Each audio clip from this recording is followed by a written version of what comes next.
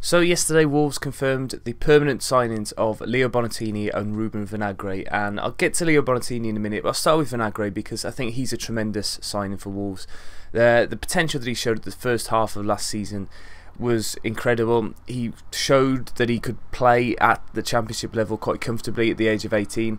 I think it was a real shame that we didn't get to see a lot of him in the second half of the season. The last time we saw him in fact was when he got sent off against Swansea. But down that left side, I think Barry Douglas played so well in the second half of the season, particularly around Christmas time, that it was not possible for Vinagre to break into the team, which was a shame. I think there's possibly that game against Hull where we could have seen him come in to play at right wing back or Douglas switched across or something like that.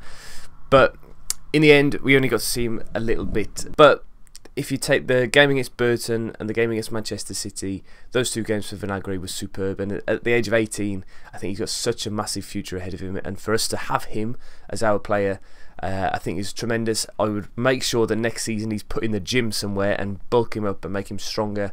But he's very, very fast. He's very attacking minded. Defensively, I think he needs a little bit more work.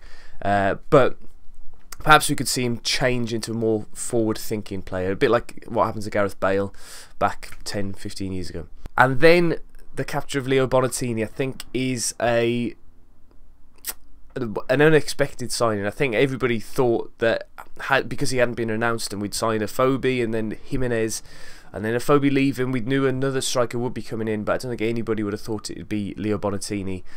And I still don't think it will be Leo Bonatini. I think that I get the sense that uh, he will be moved along in a similar fashion to Afobe, that he was Wolves think they can make a profit from him. We know that a few championship clubs were interested in him last season, uh, Villa being one of them, and perhaps Wolves think they, they can cash in on him and say, look, he had a fantastic start to the season, scoring 12 goals.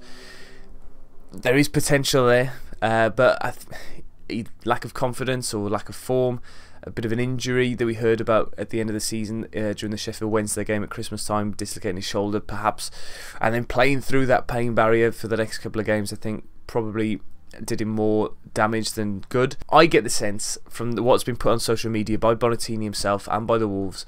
He's been given this four-year contract. A big, you know, we didn't see with Afobe him standing there with a shirt. We have now seen Bonatini with a shirt with 2022 on it, which is the year that this contract will run out.